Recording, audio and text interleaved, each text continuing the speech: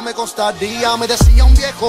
Mientras sus ojos lloraban, de querer volar lejos. Mientras al cielo miraba, todavía recordaba cuando